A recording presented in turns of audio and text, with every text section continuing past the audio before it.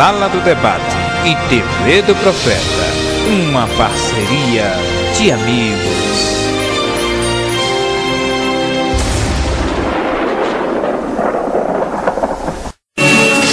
Você, você, você está ouvindo agora o programa Sala do Debate com o irmão Eliseu Antônio.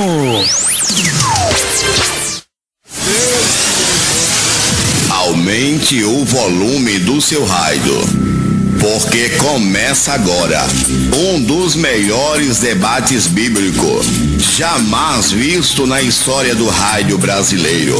Um debate com uma linguagem objetiva, clara, que todos poderão entender. Abra sua Bíblia, porque está no ar o debate da noite. Bom, amados, é, como eu falei, para você que tá, chegou agora da igreja, ou sintonizou agora, né? Nós estamos aqui é, com o programa Sala do Debate, que era de segunda a sexta, mais a, das 20 às 22 horas. E agora nós estamos em novo horário, né? A partir de hoje nós estaremos das 22 às 0 horas. E o nosso programa, é, ele tem uma diversidade muito grande de quadro tal. E dia de quinta-feira nós temos debate bíblico, isto é, nós estudamos um tema, né? E como hoje não poderia ser diferente de, dos outros dias, nós estamos com um tema abençoado, baseado aqui em João 17, versículo 12. E comigo estará é, o, o irmão Josenildo Campos, né, que é conhecido como profeta da hora, aqui na sala do debate, e também o querido Mauro Dias, teólogo ali da Assembleia de Deus, Recife. E né, para mim é uma honra muito grande estar com eles aqui. E nós vamos começar a falar do tema, que é falando sobre a predestinação. Existe predestinação para salvação e para condenação? Existe. É, então, o, o nosso irmão, vamos começar aqui com o profeta da hora? Vamos começar aqui com o profeta da hora, que já está com o microfone na mão. É, paz do Senhor, profeta. Shalom, paz do Senhor para os irmãos, todos os ouvintes da Moriá FM.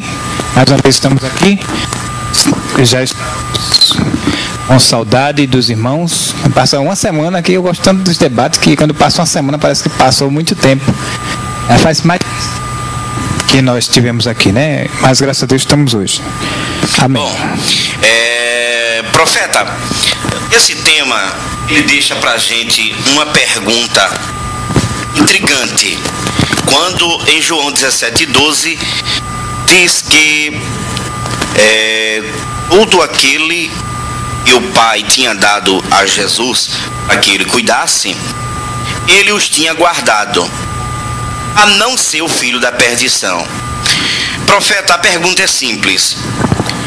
No seu entendimento, é, é correto afirmar existe mesmo pessoas que já nascem condenadas para não ir morar no céu? Estou aliviando a pergunta, né? Porque quando fala inferno, né? Então, na sua opinião, existe? Eu tenho, você tem cinco minutos para nos explicar, por favor. É, a questão da predestinação é um assunto muito polêmico, os irmãos. É, a gente estava discutindo a questão do. Aí vem a história do calvinismo, do arminianismo. Como eu estava dizendo aos irmãos, o calvinistas às vezes vai me odiar pela palavra que eu vou dizer, que muitos dizem que eu sou calvinista, mas assim como Calvino e Armínio, eu também discordo de muitas coisas dos dois. Então eu não posso ser considerado calvinista, porque o calvinista jamais vai discordar de Calvino.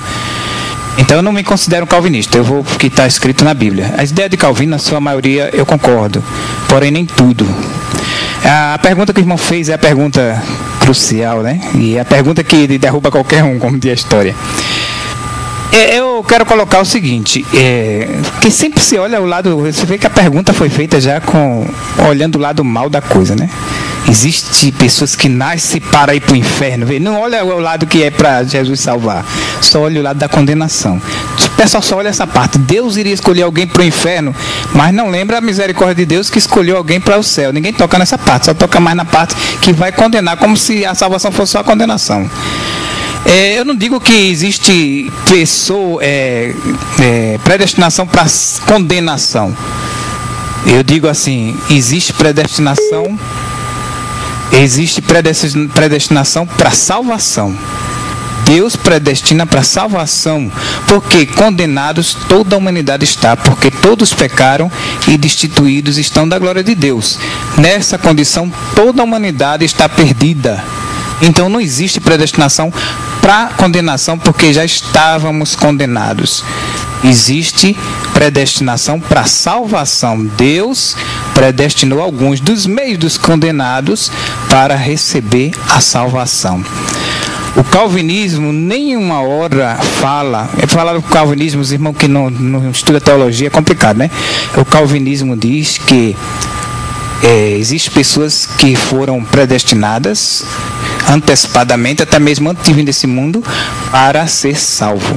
É isso que o calvinismo ensina. O arminianismo ensina que não, qualquer pessoa tem possibilidade de ser salvo. Não existe ninguém predestinado. Então eu, eu defendo a ideia de que existe a predestinação. Deus, ele de antemão já escolheu as pessoas que vão morar com ele no céu e vai trabalhar na vida dessas pessoas durante toda a sua vida para que eles se encontrem com Jesus e venham para dentro da igreja e sejam salvos. Porém, essas pessoas já estão predestinadas antes mesmo de conhecer a Cristo e depois vem a Cristo. É, lembrando que o próprio apóstolo Paulo ele coloca ordem no, nessa frase. Primeiro Deus predestina, primeiro Deus destina e depois a pessoa é salva. Não é primeiro ser salvo para depois ser predestinado, que é ensinado isso na igreja. A maioria das igrejas ensina que primeiro você tem que vir para a igreja, porque quem está predestinado é a igreja. Então primeiro tem que aceitar Jesus para ser predestinado. Eu já entendo assim, o próprio Paulo fala primeiro, Deus te escolhe para trazer você a Cristo. Tudo é por meio de Cristo, porém primeiro Deus escolhe, e essa escolha não é agora, foi antes da fundação do mundo.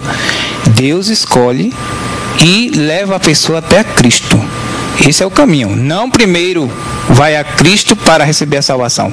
Primeiro Deus escolhe e leva a Cristo. Cristo é o meio pelo qual Deus nos salva. E Cristo é a própria palavra. E Deus nos salva pela sua palavra. Então Jesus é a palavra encarnada, né?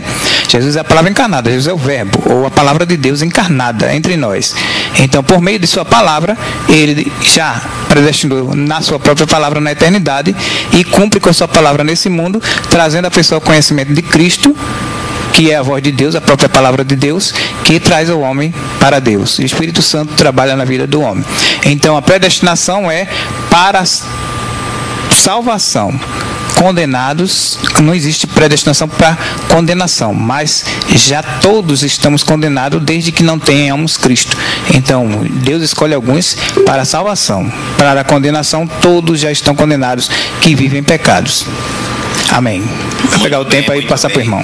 É isso aí, amém? Isso aí é o irmão Josanildo Campos com a sua justificativa. E nós vamos aprender, vamos explorar mais é, no decorrer do programa, né? É, bom, irmão Mauro Dias, a pergunta é a mesma para o senhor. Neste 17 12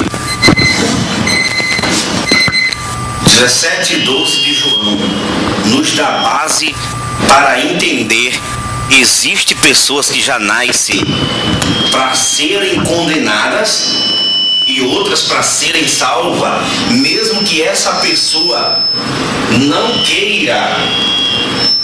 Mesmo que essa pessoa queira a Cristo, ela não conseguirá porque ela já foi predestinada desde a fundação do mundo para não ser salva. O senhor vê assim também, é, Mauro Dias? A paz do Senhor, irmão, a paz do Senhor, é, ouvintes da palavra de Deus. quero dizer a todos que é um grande prazer estar com o irmão Elias em mais um debate. É um grande prazer estar convosco nessa. Sim, é irmão Eliseu. Tudo bem, vamos lá. Aí o que acontece? O debate realmente é muito interessante. Eu gostei muito do tema quando o irmão me convidou. E analisando a Bíblia Sagrada, podemos ter sim a firmeza de que a predestinação é, calvinista ela não existe. O que existe é sim a predestinação bíblica baseada na presciência divina, conforme a própria Bíblia o relata. E no decorrer do tempo vamos citando versículos para os irmãos poderem ir acompanhando. Entendeu? Então, Deus, ele criou o homem, a sua imagem, a sua semelhança, ou seja, ele criou o homem com características próprias dele. Uma dessas características, por sinal, foi o livre-arbítrio. Uma dessas características foi a santidade, uma dessas características foi o amor, foi a capacidade de fazer o bem. Agora, como todos nós sabemos, houve infelizmente o pecado que veio ao mundo, segundo o próprio apóstolo Paulo diz, veio através é, de, de Adão, e como ele mesmo diz, por um homem veio o pecado do mundo e, por, e através de pecado a morte. E se por um homem veio a morte, também a vida veio por Cristo. Então, se no primeiro Adão que foi aquele lá do Jardim do Éden. A humanidade se distanciou de Deus, a humanidade ela morreu. Então, em Cristo, o homem tem a possibilidade de ser ressuscitado. O homem tem a possibilidade de ser regenerado. O homem tem a possibilidade de estar novamente próximo do seu Criador. Infelizmente, certas doutrinas, elas causam um certo alvoroço na mente das pessoas. Muita gente, elas fica preocupada. Imagine você passar 10, 20, 30 anos em uma igreja e ficar naquela dúvida se você é um predestinado para o céu, se você não é um predestinado para o céu. Se você vai para o inferno porque já foi um decreto divino, se você não vai para o inferno. Agora, analise isso. O que é isso na mente de pessoas que estão há tantos anos na igreja e ainda não têm certeza se a conduta ilibada delas, se o fato de estarem fazendo a vontade de Deus, se o fato de estarem se desviando do mal, se o fato de estarem procurando fazer o bem sempre que podem, vai é, terminar em um fim trágico, que é justamente a perdição a perdição é, da pessoa. Infelizmente, existem doutrinas que causam este tumulto, este embaraço na mente das pessoas. Porém, graças a Deus, que nós temos a Bíblia Sagrada, que faz com que esses tumultos eles sejam é, resolvidos, com que esses embaraços eles sejam quebrados. Entenderam? Então, lendo a Bíblia Sagrada, nós vamos compreender tudo isso aí. Então, o que está faltando é justamente aquilo que Jesus disse: o meu povo erra por não conhecer as Escrituras sagradas e o poder de Deus. Então, a partir do momento que passamos a compreender melhor, passamos a analisar melhor a palavra de Deus, passamos a é, ler textos bíblicos e não ler apenas versículos isolados, nós compreendemos realmente o que Deus quer dizer, o que Deus tem para nós, o que Deus fez, o que Deus faz, o amor de Deus para conosco. Porque quando Deus ele faz toda a sua criação, ele sempre diz no finalzinho que é bom. Porém, quando ele faz o homem, ele diz: E viu Deus que é muito que era muito bom. Ou seja, o homem, o ser humano, ele é a coroa da criação divina. Por ser a coroa da criação divina, não há o que se falar em predestinação para o inferno. O homem ele não veio ao mundo, ou melhor, o homem não foi gerado na terra para ir para o inferno de jeito nenhum.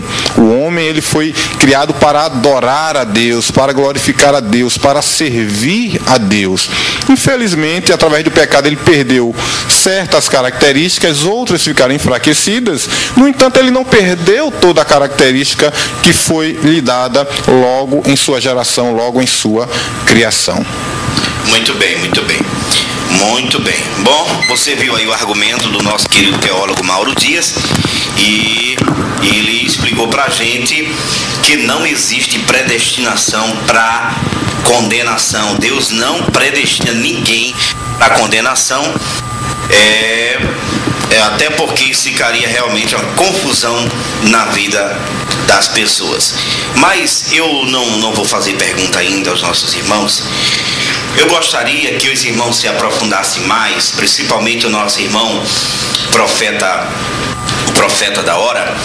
É, profeta, existe alguma base eu, ou, ou para melhor dizer, existe eco nas escrituras deste ponto de vista que você está tendo de que pessoas elas já estão condenadas por causa do pecado e outras pessoas sim são já estão predestinadas para serem salvas. Existe eco nas escrituras é, é, que dê base a este pensamento seu. Eu queria que o senhor ficasse à vontade, explorasse mais e gostaria de pedir aos nossos irmãos debatedores. Eu sei que os irmãos foram muito claros, mas existem pessoas de, de, de que são alfabetizadas, tem outras pessoas que já não têm tanto interesse por, é, por estudos bíblicos, coisa do tipo.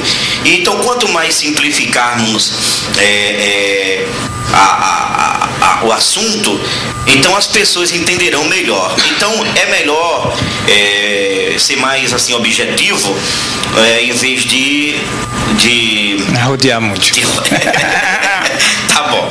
Então, profeta, existe eco nas escrituras de que na realidade pessoas foram mesmo condenadas, existe é, predestinada para serem salvas. Tem, tem, tem eco nessa escritura? Responda pra gente, por favor. Vamos tentar ser o mais claro possível, né? A gente até a gente estava conversando que eu não gosto muito de palavras teológicas, principalmente que eu não tenho teologia, né? Eu, a teologia que eu tenho é da Bíblia. É, é a verdadeira? Não, eu também, também não, também é. É, eu acho que ele é a verdadeira, é a da Bíblia, né? Então, até o teólogo na faculdade tem que aprender a palavra. É, Jesus falou aqui em João. Ah, irmãos, é uma coisa. Predestinação. Todo mundo crê. Todo mundo crê na predestinação. O nosso irmão Mauro também crê. Eu vou lhe provar. Mas não da maneira que eu creio, mas crê. Toda, toda, todo crente, toda igreja diz que a igreja está predestinada a ser salva. A igreja. Então, só está predestinada a pessoa que está na igreja. A pessoa tem que se converter, aceitar Jesus. A partir daí, ela é predestinada a morar no céu. Isso é o entendimento. Essa palavra predestinação, nesse sentido, ela aceita por toda, toda denominação, toda religião. Porém, é, a que eu estou falando é a predestinação que ela não precisa estar dentro de um templo religioso. É a predestinação que veio antes de conhecer a Cristo.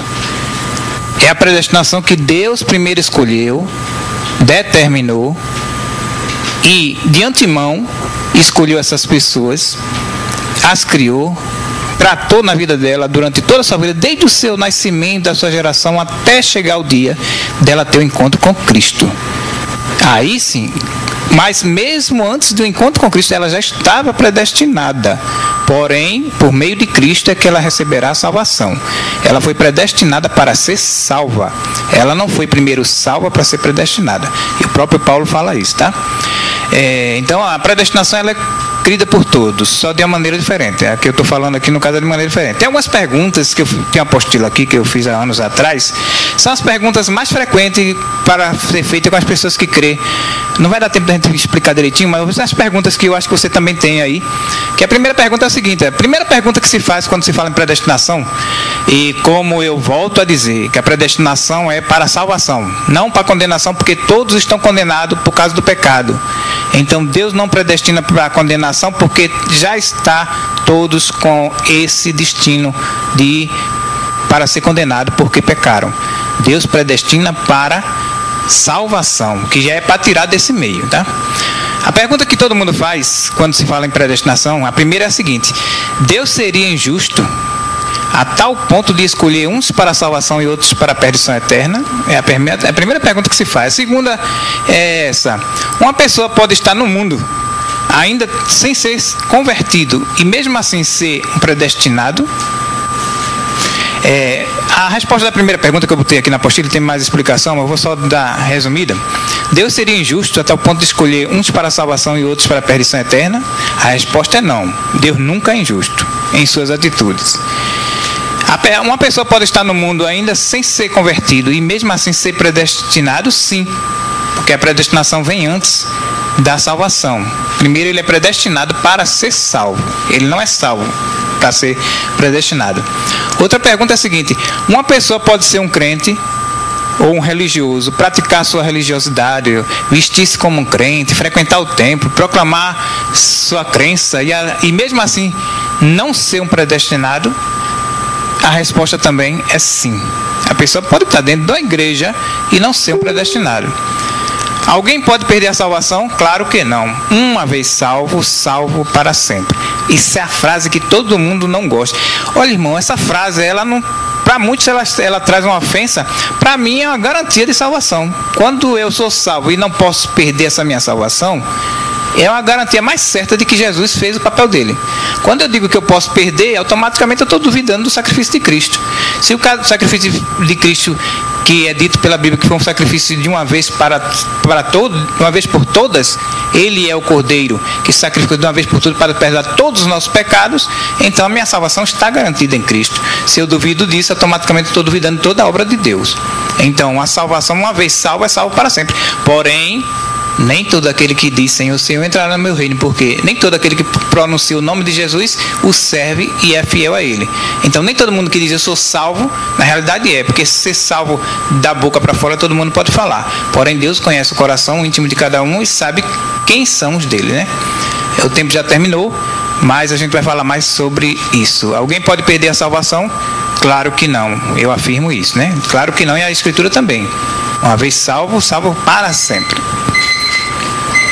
Irmão Mauro, é, o que o senhor me diz a respeito da, desta, destes pontos abordados pelo, pelo nosso irmão. Lembrando que vocês, se quiserem, podem, no, dentro do, dos cinco minutos de vocês, é, fazer pergunta ao seu irmão que está no momento né, abordando o tema. Fique à vontade, irmão Mauro. Bem, irmãos, eu gostaria de ler alguns textos bíblicos para poder balizar melhor o que estou falando. Okay. Só fazendo a observação de que é, o irmão falou que todos acreditam em predestinação, e na minha fala anterior eu disse, nós e eu, particularmente, não acredito na predestinação calvinista. É uma predestinação errada não é uma predestinação bíblica. Eu disse que o que eu acredito é na predestinação baseada na presciência divina, é o que está escrito na palavra de Deus. Segundo é, 1 Pedro, gostaria que os irmãos acompanhassem. 1 Pedro capítulo 1 e versículo 2 nos diz o seguinte: eleitos segundo a presciência de Deus Presciência, meus irmãos, é conhecimento anterior dos fatos. Aqueles que acreditam na predestinação calvinista, eles, é, eles pregam que Deus, quando ele é, conhece alguma coisa antes que aconteça, é porque ele predeterminou que fosse assim. Só que na verdade não é. O próprio Calvino, ele costumava dizer de que não existe presciência pura. Espera aí, se não existe presciência pura, no meu entendimento, a presciência pura seria conhecer todos os fatos antes que ele ocorresse. Se o Deus que Calvino dizia acreditar não presciência pura, automaticamente é, Deus é todo poderoso, porque no meu conhecimento, na minha, no meu conhecimento de Bíblia, é, Deus ele é sim todo poderoso.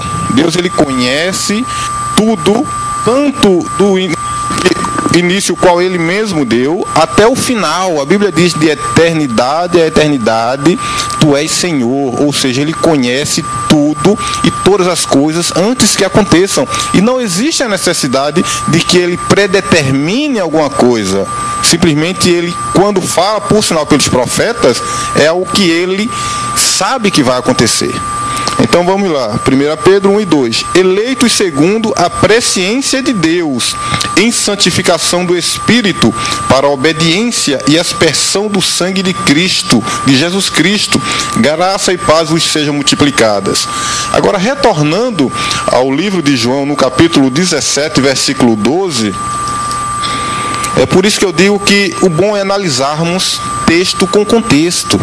Tem um, uma frase, acredito que o irmão conhece bem, de que texto sem contexto é pretexto para heresia. E realmente é, porque a partir do momento que você pega um texto isolado, eu acho que o irmão deve concordar comigo, você pega um texto isolado, você pode criar qualquer espécie de doutrina por aí. Por quê? Um texto isolado, mas vamos ler o contexto. A partir do momento que se lê o contexto, entende-se melhor a situação. Entenderam? Vamos lá. João 17, 12, que é justamente o versículo do tema. Estando eu com eles no mundo, guardava-os em teu nome, tendo guardado aqueles que tu me deste, e nenhum deles se perdeu, senão o filho da perdição, para que a escritura se cumprisse.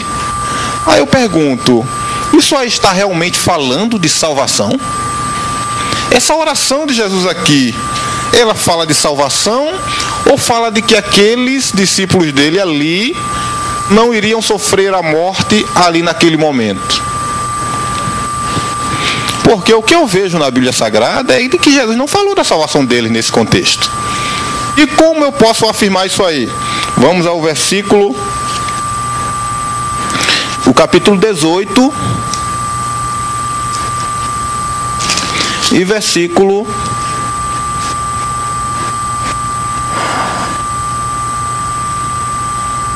e versículo 8 e 9, que nos diz assim: Jesus respondeu: Já vos disse que sou eu.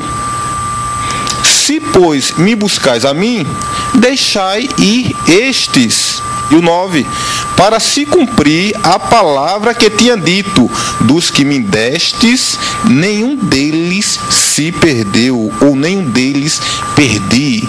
Jesus não estava falando de salvação naquele momento para eles. Ele estava dizendo que nenhum deles seriam pegos pelos eh, guardas ou seriam condenados à morte pelos guardas. Simplesmente isso não é complicado. É ler o texto e entender. Ele falou justamente nisso.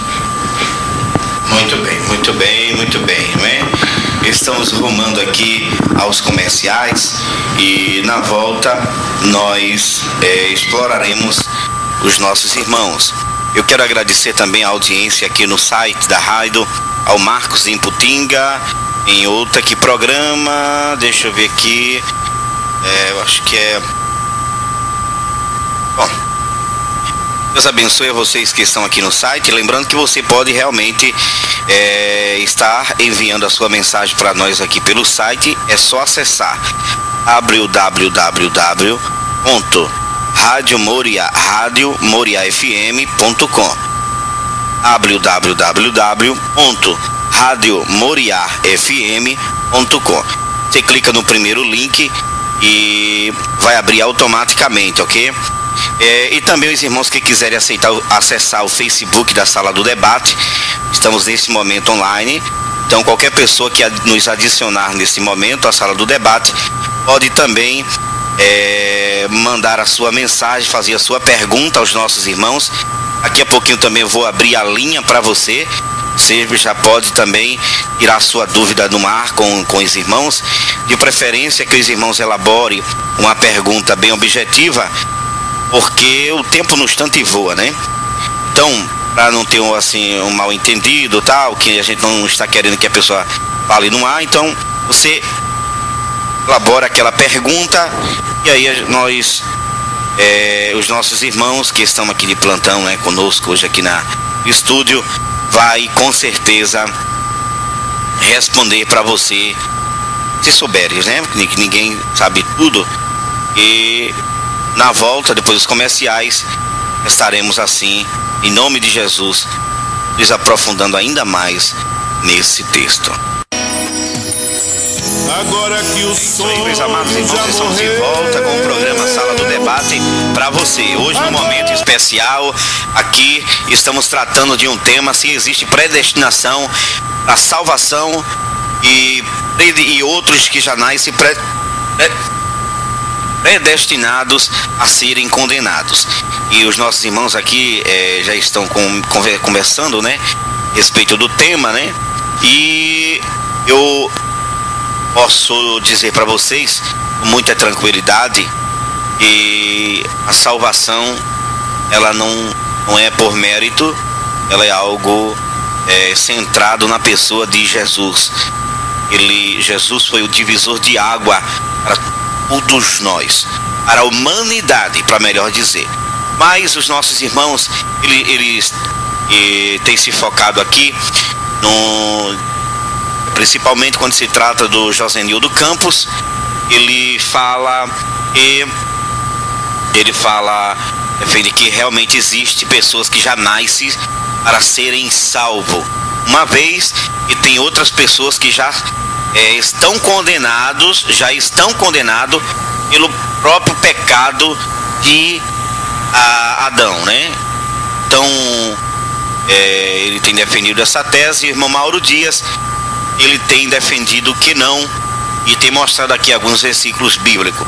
Mas eu gostaria agora de me direcionar ao profeta perguntando ao profeta, é, perguntando ao profeta se profeta você se você é, consegue mostrar pra gente alguns casos e que pessoas eles é, já assim nasceram né? porque temos um caso ali na, em Coríntios que fala a respeito do incesto aonde uh, o apóstolo Paulo fala dizendo que a, a carne tinha que ser entregue a Satanás para que o espírito fosse salvo no dia do juízo.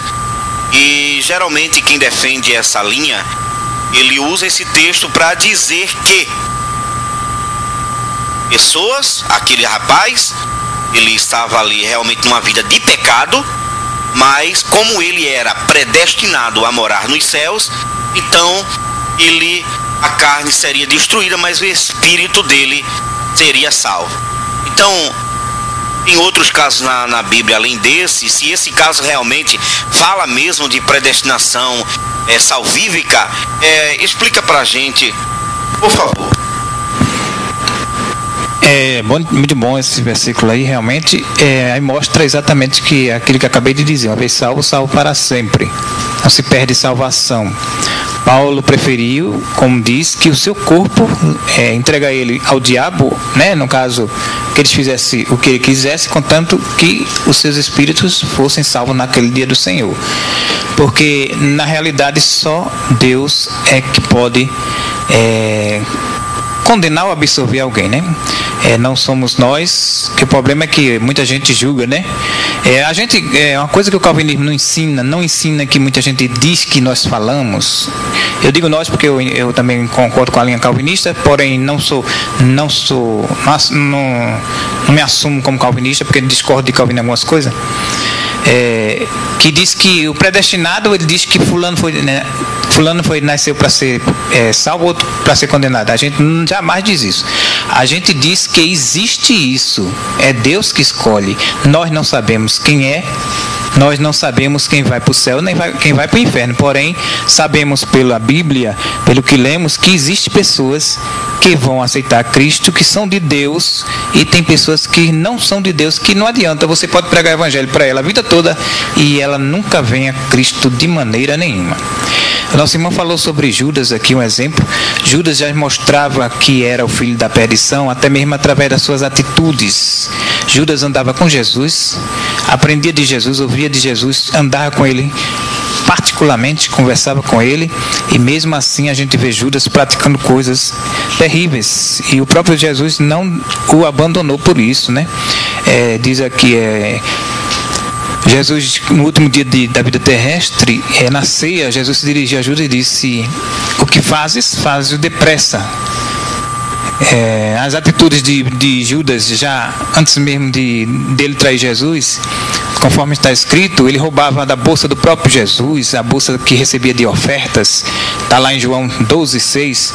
Ora, ele, ele Judas, disse, disse isto não pelo cuidado que tivesse aos pobres, mas porque era ladrão e tinha a bolsa e tirava o que ali se lançava. Está escrito lá em 12 e 6 de João que Jesus, que o próprio Judas roubava o próprio Cristo. Isso já era a atitude de uma pessoa que não tinha nada a ver com Deus, apesar de Jesus ter escolhido ele, porque ele era haveria de ser o traidor que a Bíblia falou. Aí alguém pode dizer, não, mas poderia ser qualquer um. A gente vê quando Jesus se, se dirige a Pedro e diz assim: Pedro, o diabo pediu para se andar contigo, mas eu roguei ao Pai para que tua fé não se desfaleça, alguma coisa assim nesse sentido. E a gente não vê Jesus rogando ao Pai pelo Judas, a gente não vê ele dizer que rogou também ao Pai por Judas. Porém, a Pedro ele disse que rogou. Por quê? A gente vê mais tarde o que é o plano que Deus tinha na vida de Pedro. Pedro seria uma pessoa importante, seria aquele que iria guiar a igreja. Pedro também pecou um pecado que Jesus tinha falado que quem cometesse isso estaria condenado eternamente, quando ele disse que Aquele que me negar diante dos homens, eu negarei diante do Pai. E Pedro negou Jesus ainda em vida diante dos homens. E Jesus o perdoou depois que ressuscitou. Porém, é, depois que ele morreu, ressuscitou, foi que ele perdoou a Judas. Então, se fosse levar o pé da letra, Pedro estaria condenado porque negou Jesus diante dos homens. Então, Jesus Cristo, na eternidade, também negaria Pedro diante de Deus. Isso aí também está mostrando que Pedro era um homem que é muito importante para Deus, mesmo com esse pecado dele, Jesus restaurou Pedro e fez o plano que ele tinha na vida dele. Bom, é, irmão Mauro Dias, isso se encaixa com, com a palavra, com a, isso é bíblico mesmo, isso aí? Não, na verdade Judas, ele é chamado na Bíblia de filho da perdição. Agora vem a questão, isso foi porque ele foi predestinado a ir para o inferno, ou porque, é, no caso, como o irmão falou aqui, só existe predestinado salvação, mas não existe predestinado a perdição. As pessoas vão simplesmente porque Deus deixa elas correrem livre, leve e soltas.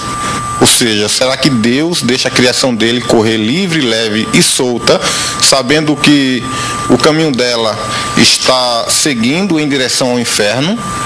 E você tem seus filhos, os seus filhos andam em caminho errado, você aconselha e tal, e você simplesmente deixa eles ir, você podendo interferir aquilo ali?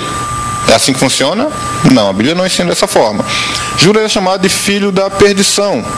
No entanto, alguns versículos bíblicos demonstram que a palavra filho da perdição nada mais é do que um título que é, remete ao caráter da pessoa. Como, por exemplo, vamos lá, é uma expressão idiomática. Vamos lá, filhos de Deus está no capítulo 6 e versículo 2 do livro de Gênesis. Filhos dos poderosos, Salmos 29 1 filhos da ira, Efésios 2 e 3, filhos deste mundo, Lucas 16 e 8, filhos da desobediência, Efésios 2 e 2, filhos da ressurreição, Lucas 20 e 36, filhos do diabo, Atos 13 e 10. Ou seja, percebemos que idiomaticamente esta expressão filhos da perdição nada mais é do que uma expressão titular representando o caráter que a pessoa já tinha em vida. E como nosso irmão mesmo aqui citou, o caráter de Judas era um caráter mau. Ele era ladrão. Não porque Deus queria, mas. Não porque Deus queria, porque ele optou por aquilo ali. Porque o que a Bíblia fala em relação à situação de quem haveria de trair Jesus, ele não determina quem vai trair Jesus. Aquilo ali foi uma profecia no Antigo Testamento dizendo que alguém iria trair Jesus. Então, ele não determinou que alguém o fizesse, mas Deus já predisse: alguém vai fazer assim.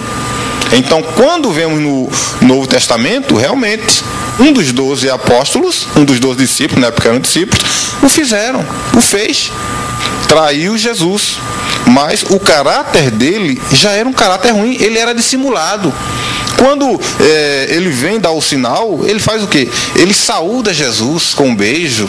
Era uma expressão, é, uma saudação comum na época. Ele vem e saúda como um sinal de que aquele era o Messias. Era uma pessoa dissimulada. Entendeu? Então o que acontece? É, mas Jesus é, queria salvá-lo? Com certeza ele queria. Agora, o que os calvinistas esbarram é na questão de dizer que a soberania de Deus está baseado em o que ele quer fazer realmente acontece e ele tem que fazer. Só que Deus ele quer a salvação do ser humano, ele não quer a perdição de ninguém. Ele quer a salvação do ser humano. Infelizmente, Judas escolheu um caminho errado.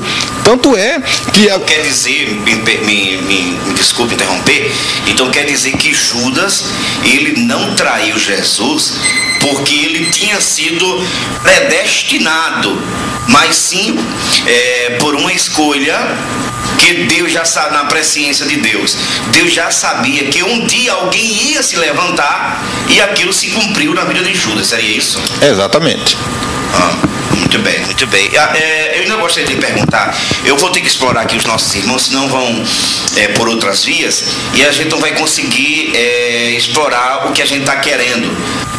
Eu citei para ele, para o profeta, o caso daquele caso de incesto na igreja de Coríntios aonde Paulo diz que é, o, o, espírito fosse é, a, a carne, o corpo fosse entregue a Satanás e para que o espírito fosse salvo no dia do juízo. Isso tem alguma relação mesmo com salvação ou é, existe alguma explicação que a gente pode explorar aí? Vamos ler o texto para ser mais claro, senhor. É, deixa eu ver aqui. Nós temos uma direção melhor, até ficar mais claro para os ouvintes também, não é verdade? Uhum. É, então, então quer dizer que o nosso irmão, o nosso irmão profeta da hora, eu vou pegar aqui o versículo, aí é, ele, o profeta queria falar, pode ir, é, profeta, Nossa, fazer quanto as tá, né? aqui, enquanto eu pego aqui o versículo aqui. Não, tudo bem. É, a nosso irmão falou, é, a questão do Irmãos, a gente vê todas as características. O nosso irmão disse que Judas já era assim. É, nas suas características, sim. Se ele nasceu para isso, claro que ele teria as características que mostraria que ele seria o traidor. Aí é colocado em dúvida que poderia ser qualquer um. Não temos ninguém. Aliás, temos uma pessoa que poderia ser o próprio Jesus rogou por ele e, e Pedro ele várias vezes deu as suas falhas quando é, Jesus falando do seu sofrimento, Pedro disse que jamais isso vai acontecer. E ele disse: é, Para trás de mim, Satanás. Pedro deu lugar a Satanás. Pedro negou Jesus três vezes. Judas não fez isso. Pedro negou Jesus três vezes. Pedro torou, é, cortou a orelha do soldado Malco, né? É, muitas vezes Pedro era muito grosseiro e características também mal, assim, né, aos nossos olhos, e mesmo assim Deus deu a Pedro um privilégio muito grande de, de também levar a igreja adiante depois da sua morte. A responsabilidade. Outra coisa que é interessante que Pedro não era convertido ainda quando andava com Jesus. Tanto que depois de morto, é, de ressuscitado, Jesus diz a Pedro: quando tu te converteres, Pedro, um grande homem de Deus, escolhido pelo próprio Cristo, ainda não era convertido. Aí a questão que a gente falou, a questão da predestinação, quer dizer, ele foi primeiro escolhido por Deus e ainda não era convertido, já andava com Jesus. Depois que ele se converteu, com o passar do tempo, seu sofrimento, é que a gente vê as cartas de Pedro já bem, já bem diferentes daquele Pedro do velho, né? É, o velho Pedro antes da sua conversão. Deixa eu ler só um versículos aqui, que vai dar a entender que existem duas classes Jesus falando em João 10 e deixa eu ver aqui, Jesus é, João João 10 e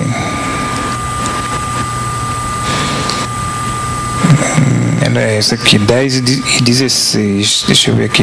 É 10 e 15. Não, 10. Para começar do começo aqui. João 10, 14 em diante. Eu sou bom pastor e conheço as minhas ovelhas.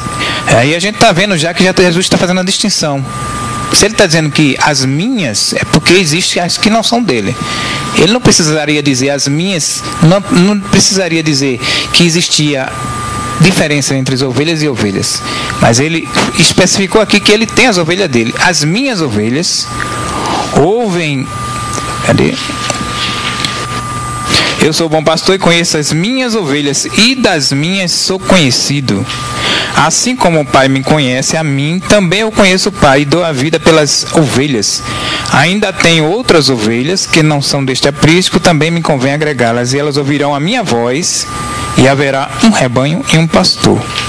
Né? E no versículo, no capítulo 10 e acho que é 27, 27.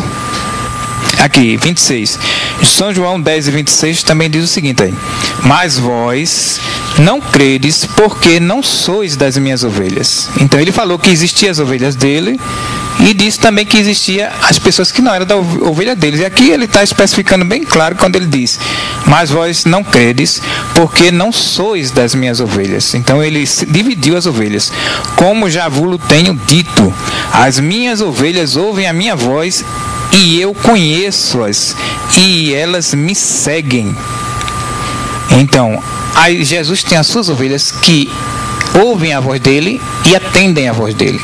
E reconhece e também é, é conhecido das ovelhas. E ele falando, claro que estava falando aqui para os judeus daquela época, mas as palavras de Cristo, se, for, se a gente for pegar, não, isso foi só para aquela época para os judeus, então a gente vai ter que anular a Bíblia, porque a gente vive por isso. Todas, todos os ensinamentos de Cristo, falado para os judeus, fale para nós também. Porque as lições morais que Deus deu aos judeus é as que nós seguimos hoje.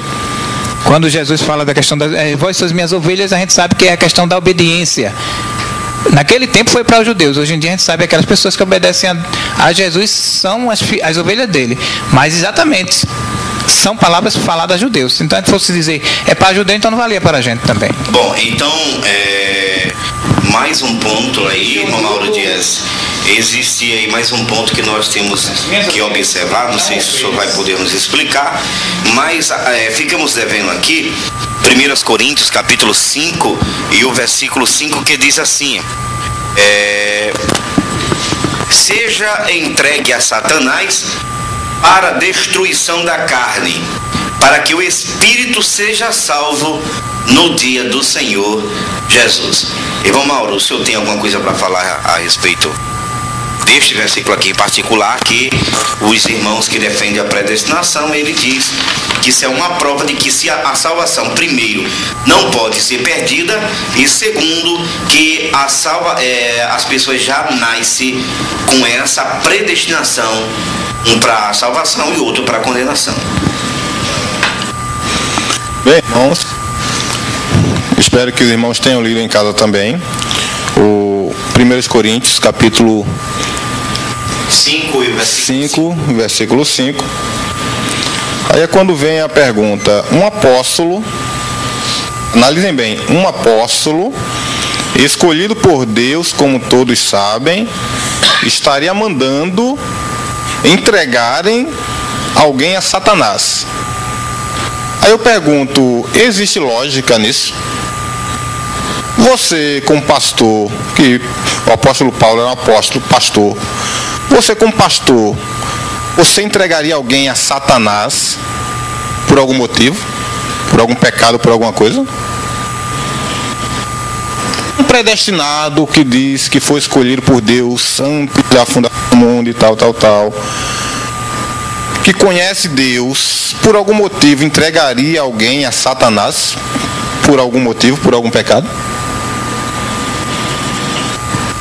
Aí vem essa interrogação. Primeiro, Posso falar Primeiro, é, aquilo ali que Paulo falou referiu-se a um ato de disciplina da pessoa. Não estava se referindo a entregar totalmente foge totalmente da lógica de um cristão dizer que o apóstolo mandou entregar alguém ao diabo devido a um pecado que ele estava cometendo. Então ali não estava fazendo referência à salvação. Não. Ali está fazendo referência à disciplina da pessoa. Era algo para, disciplinário. Para que ela. Para que ela. Para que ela, após o arrependimento, sim, após o arrependimento do seu pecado, viesse. Até porque existe uma linha calvinista. Existe uma linha calvinista. Existe uma linha calvinista que diz que é, os predestinados não pecam para a morte. Não sei se o irmão já escutou essa linha calvinista. E o que seria um pecado para a morte? Adultério, incesto, assassinato, pecados gravíssimos. Então, se esse homem seria um predestinado, segundo a linha de alguns calvinistas, então ele não estaria cometendo incesto, porque afinal incesto é um pecado para a morte, ele estaria mantendo relações com a mulher, se eu não me engano, da própria, com a mãe ou com a mulher do pai dele. Isso. Um predestinado faria uma coisa dessa? Por sinal, um predestinado qualquer não. Um predestinado depois de ouvir o evangelho, que a Bíblia diz que estava acontecendo onde? Na igreja. Não estava acontecendo fora da igreja. Aí de- falam também eh, os calvinistas de, da graça irresistível. Espera aí, o camarada está no mundo, vem para a igreja, vive ali na igreja, conhece, ele participou da graça irresistível por ser um predestinado e agora ele está mantendo relações com a própria mãe? Como o irmão explica isso aí, eh, profeta da hora?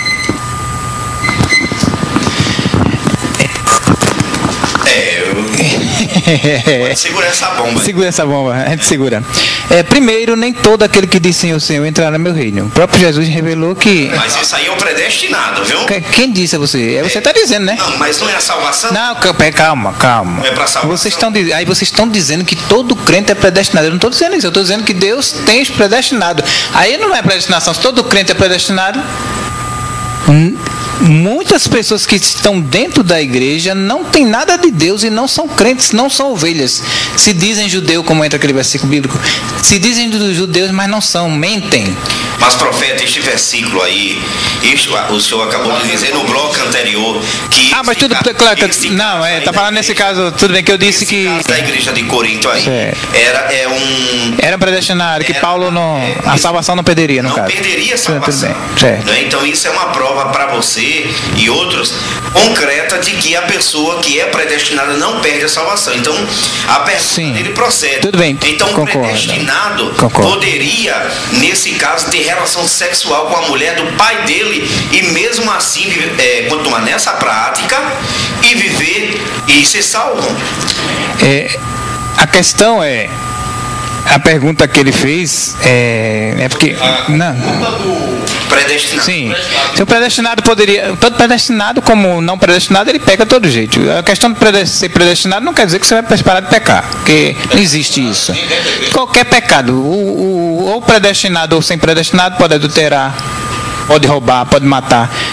Às vezes até a pessoa que a gente nunca imagina que ele iria fazer aquilo, ele faz. Porque nós somos seres humanos. Porém, a, a, a, a, salvação que a gente prega é uma salvação segura. Jesus morreu, eu vou dizer uma coisa aqui agora.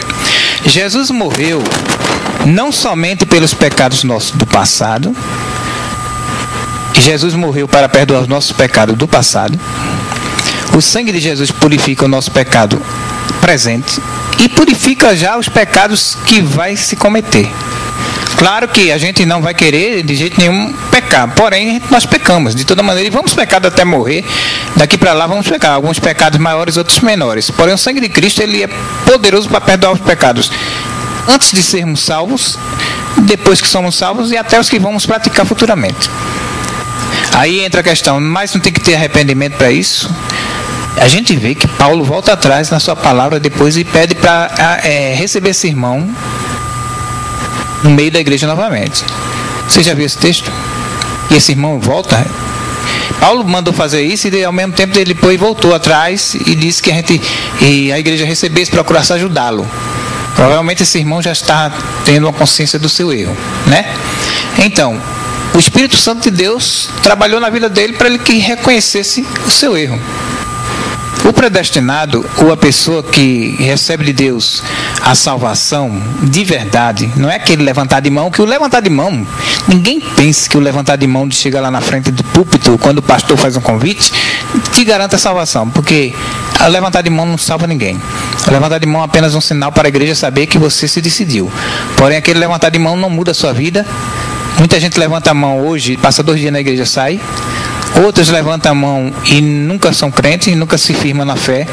E outros nem levantam a mão e são mais fiéis do que todos esses que levantam.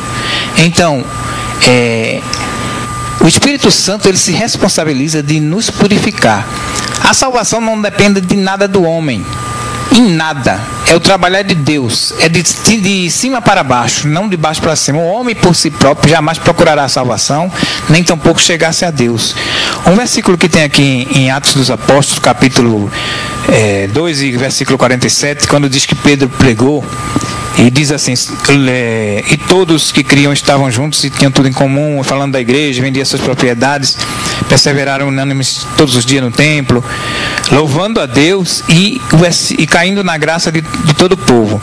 E o interessante é, o, é a última parte do versículo que diz assim: E todos os dias acrescentava o Senhor à igreja aqueles que se haviam de salvar. É Deus que traz para a igreja os que haviam de salvar. Não são todos, não. Existe pessoas determinadas que é, herdarão a salvação.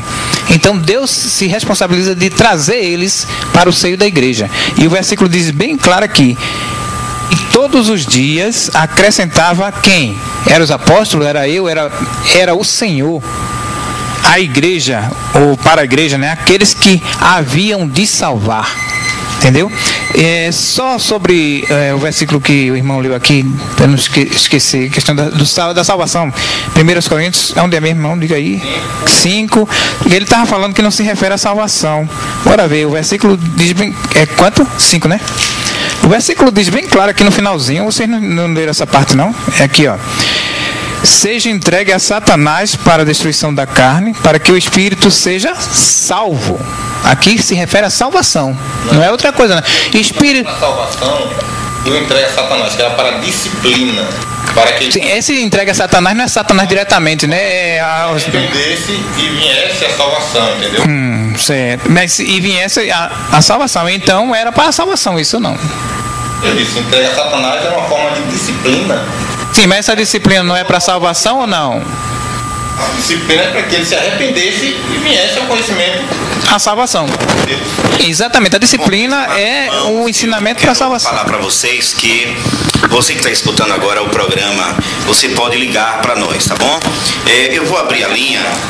Quem quiser ligar para a gente, é, fazer uma pergunta, você pode ligar 32 68 6939 3268 6939 Alô, ouvinte?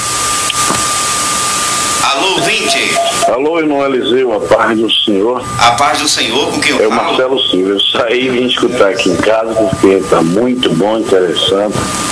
E estava observando aqui, em primeiro lugar, eu parabenizo a você, parabéns a todos que estão aí. É um assunto muito bom que a gente aprende. Eu estava observando aqui, concordo, não concordo. Uns concordam, outros discordam. Acerca, eu, eu observei que abordaram vários assuntos aí. Sobre Judas, se eram predestinados, se não era. Eu estava observando aqui se salvação se perde ou não se perde é, sobre carne, espírito, nome. Eu estava observando aqui uma coisa. Em primeiro lugar, a Bíblia diz: pela graça sois salvo por intermédio da fé. E isso não vem de vós, é um dom de Deus. Não vem das obras para que ninguém se glorie. Eu já observei muitas pessoas dando ensinamentos e doutrina aconselhando a outros orarem, jejuarem, buscarem a Deus, como se ele fosse conquistar a salvação através desses atos. E isso é antibíblico. O homem pode, cada vez mais que ele fazer o bem, receber o bem, o homem pode, com certeza, a partir do momento que ele procura viver em paz com todo mundo, ele vai ter paz. Se ele é uma pessoa maldizente, uma pessoa que procura viver uma vida errada, roubando outras práticas ilícitas, ele vai ter um resultado negativo. Isso aí fala sobre o convívio entre o ser humano, um homem com o outro. Concernente à salvação, isso não interfere em nada. Como o irmão falou, na minha opinião, segundo a Bíblia, a salvação não é de baixo para cima, é de cima para baixo. Podemos comparar hoje o pecador num buraco negro. Todo mundo lá dentro não tem como sair. Então ele não vai escolher quem ele quer que vá salvar. Ele não vai escolher se quer ser salvo ou não. Então ele está lá, a primeira mão que estende, vai lá embaixo e puxa ele, ele deve dar graças a Deus, deve agradecer, porque não tem nenhuma intervenção da parte do ser humano para que ele venha a ser alcançado. Eu já vi, pelo outro lado, pessoas pregar e dizer, aceite Jesus para que seu nome seja escrito no livro da vida. Eu paro me meditando, eu encontrei no momento, e felizmente eu não recordei de estar escrito, mas a Bíblia diz que o nome escrito é desde a fundação do mundo. Então o nome de ninguém é escrito quando ele se converte, até porque se é escrito agora, depois quando o homem deixa a prática, no caso da, da, da, da igreja, do seu convívio na igreja, quando ele deixa o nome se apaga, e depois quando ele voltar o nome acende novamente, aí seria uma brincadeira. Eu não acredito que exista dois batismos com o Espírito Santo. Eu não acredito também que se aconteça duas salvações, só se é salvo uma vez.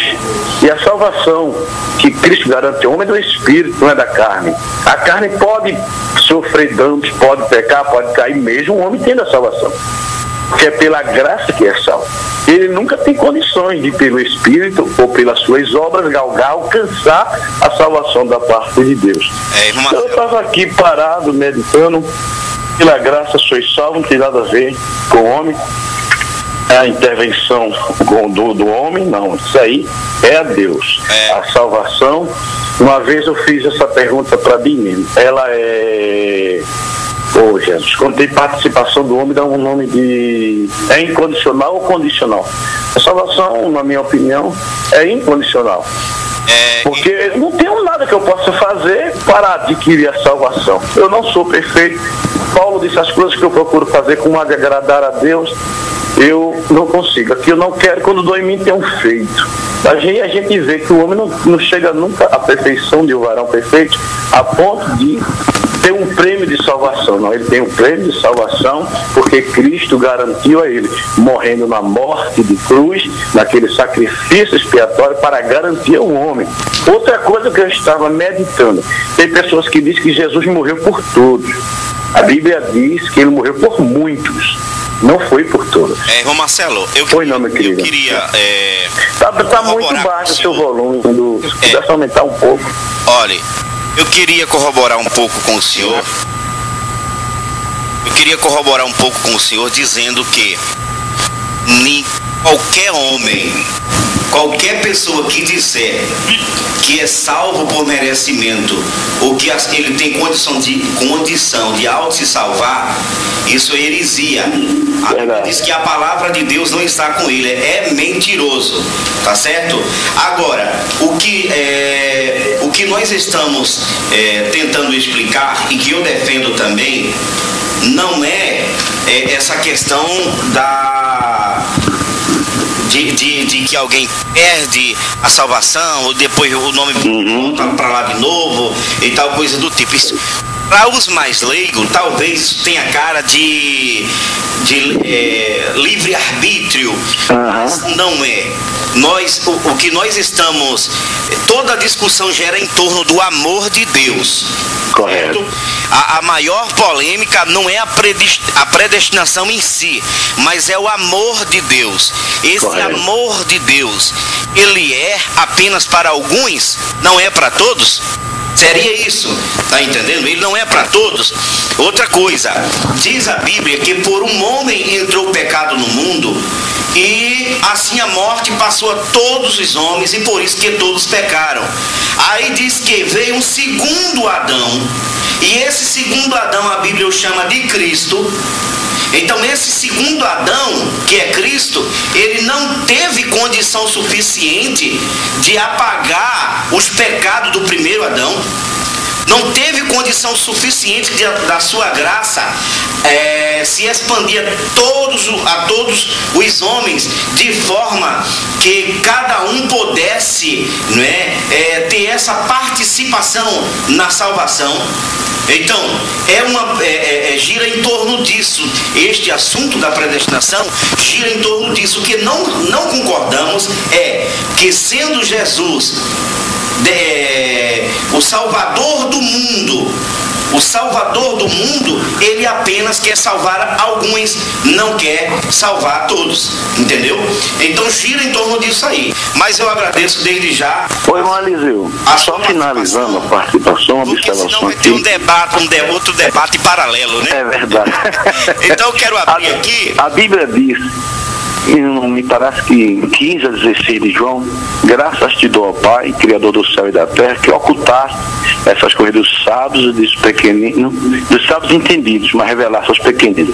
Diz, nenhum do que tu me entregaste se perderam, a não ser os filhos da salvação. Bem, só existe filho da salvação porque existe da perdição. Um é agregado ao outro. É impossível existir filho da salvação se não existe da perdição. É. Outra coisa para finalizar minha, minha participação em relação a Judas. Porque Judas, se ele era um filho da predestinação, Jesus o escolheu como discípulo. Porque essa missão de trair a Jesus não poderia ser feito pelos filhos. Tanto é que eu gostaria que um dos irmãos que estão presentes lesse João capítulo 6, versículo 70 e o 71, por bondade, queridos. Tá bom, querido. Fica com Deus e obrigado pela participação. Ok, irmão Eliseu, um abraço, a paz do Senhor, meu irmão. Amém. Mesmo. Você pode ligar 3268 6939 e fazer a sua pergunta aqui aos nossos irmãos que estão aqui na no, no estúdio da Rádio Muriar, né? E ele pediu pra gente ler um versículo aí, né? Já tá na agulha? Não tem alguma coisa em relação ao que ele falou aí? Pode, pode. Mauro, ele, ele vai é, tecer um comentário aqui em relação ao que o irmão Marcelo Silva é, comentou. Bem, meu irmão Marcelo, a paz do Senhor. É um prazer tê-lo como ouvinte nesta noite. O, o versículo que o irmão leu no capítulo 2 do livro de Efésios, o 8 e 9, que nos diz, como todos nós conhecemos, porque pela graça sois salvos por meio da fé. Isso não vem de vós, é dom de Deus, não vem das obras para que ninguém se glorie. Primeiro, esta salvação que nós falamos aqui, é que é por Cristo, nunca um arminiano disse ele era salvo por mérito ou por capacidade própria. Tá falhando aqui. Ou por. Meu Deus.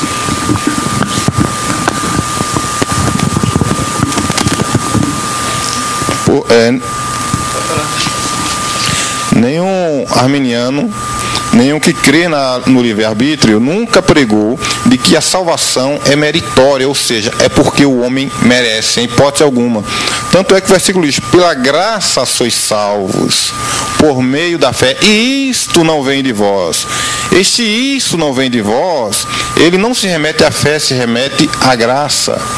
Então, o próprio apóstolo de Efésios deixa claro que a salvação não provém do homem, não é o homem que se salva, porque o homem não tem capacidade. Foi Deus é, que enviou Jesus para nos salvar. Segundo que está escrito no livro de João, no capítulo 3,16, porque Deus amou o mundo de uma tal maneira para que todo aquele que, que deu seu filho, para que todo aquele que nele crê não pereça, mas tenha vida eterna.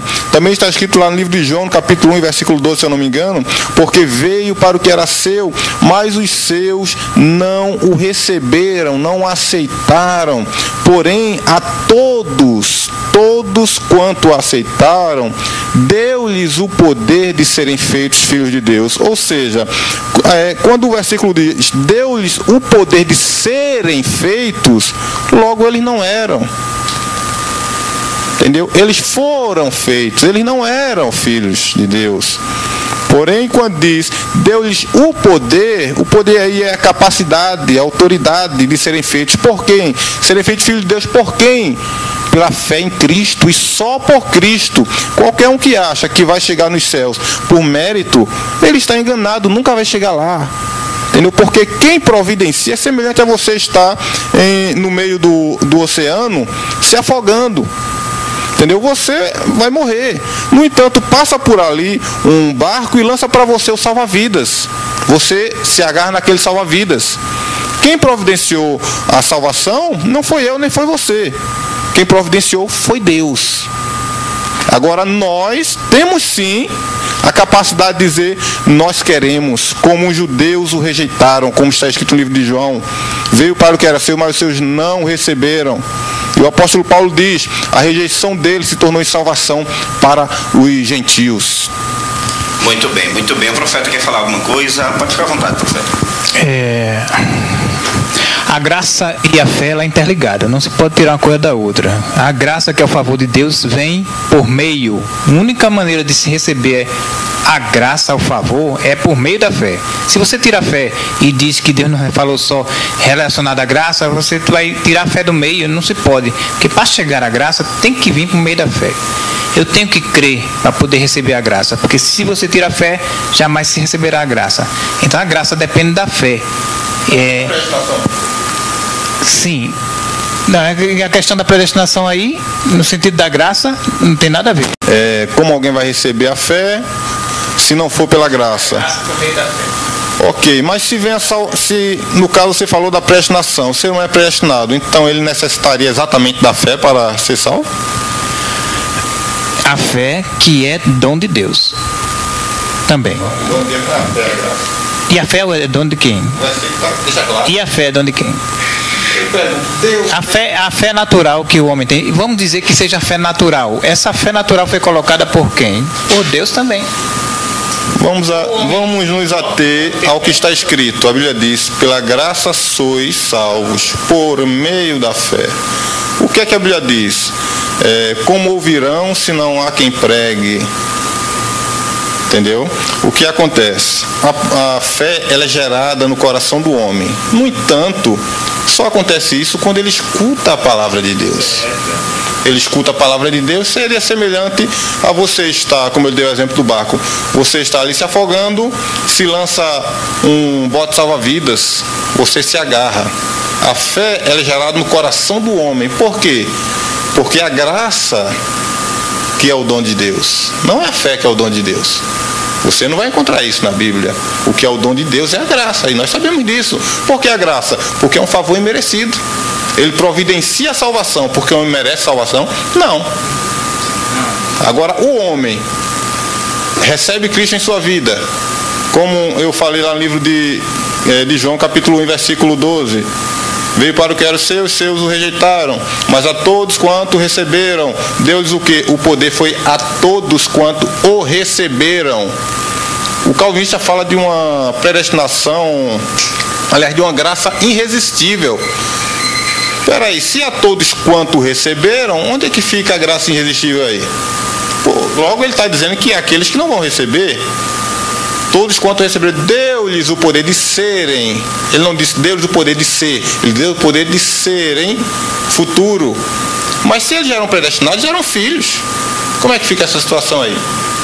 É, essa questão do filho de Deus é, tem duas, duas visões, né? A questão do filho de Deus por criação todos nós somos. Até o incrédulo ele é filho de Deus por criação, porque Deus criou todas as coisas, é pai de tudo e de todos, né? Se for olhar nesse sentido. No sentido de filho de Deus através de Cristo Jesus, que é a adoção de filhos, né? Que somos filhos não é, gerados agora por meio da palavra, não somos filhos naturais como Jesus, que é o único Filho de Deus, nós somos filhos por adoção através de Cristo Jesus, que é a própria palavra de Deus. É, o, a graça de Deus, é, que é o favor imerecido, ela vem é, no sentido da proclamação da palavra para todos os homens, porém nem todos ouvirão, nem todos crerão. A todos quanto receberam, você vê que ele separa que é um grupo que vai receber, não são todos. Tem uma separação de toda maneira. Essa história de dizer, é, Paulo falou, foi, foi Paulo falou que disse assim, foi é, a vontade de Deus é que todos se salvem. Aí vem a confusão, porque se é a vontade de Deus e não se acontece, é como se Deus não tivesse poder, porque a vontade de Deus eu creio que deve ser obedecida. É lá em Jó tem dizendo: nenhum dos teus pensamentos pode ser impedido. Nenhum, eu sei que tudo pode, nenhum dos pensamentos pode ser impedido. Então, se a vontade de Deus não é feita, como Paulo disse que a vontade de Deus é todos se salvem, é, a questão aqui é que quando você olha é, o lado de, dos condenados, todo mundo diz que há injustiça da parte de Deus. Deus de salvar uns e condenar outros. Porém, se formos ver dessa maneira, vamos olhar agora para o outro lado. Todos estão condenados. E Deus resolve tirar, digamos, sem estar condenado. E Deus resolve salvar desse meio 10. Seria uma atitude errada de Deus de querer salvar 10 pessoas de 100 que estão condenadas? Ou seria um ato de louvor? Porque todos estavam condenados e mesmo assim ele teve compaixão de, de dez e tirou. Ele não fez um mal, ele fez um bem. Que coração é esse que ele tem, é, ele tem água de não, assim para lavar? De, Deus, mas Eliseu, a questão é que isso é um pensamento humano, Eliseu. Isso é sentimento humano. Eliseu, a pergunta é, a pergunta é, vai alguém para o inferno? Ainda bem que estava fechado. A pergunta é, Eliseu, é, Eliseu estava dizendo, tava dizendo aqui que é falta de amor, que amor é esse de Deus. Vai alguém para o inferno? Vai. Que Deus é esse que vai mandar alguém para o inferno? Ele manda porque as pessoas. Não, ele é esse. Não, mas se você diz que ele tem que. Se ele está amando um mais do que o outro, ele deveria amar todo mundo igual e salvar todo mundo. A lógica seria essa. Se ele é tão bom assim, tão bom assim que eu digo que Deus é bom, né? Mas do jeito que você está falando, é como se Deus tivesse a obrigação de salvar toda a humanidade. Se Deus vai salvar todo mundo, precisava Jesus vir morrer na cruz. Para quê? Jesus vai salvar todo mundo. É como o purgatório. Se toda alma vai passar por purgatório, não precisa perdão, pecado. Entendeu? Então a questão é aqui, ó, a questão é que você olhar de que Deus teve misericórdia de alguns e resgatou. Ele não fez um mal, não, ele está fazendo um bem. Se ele tivesse condenado todo mundo, aí você poderia dizer, Deus fez um mal, pois não salvou ninguém.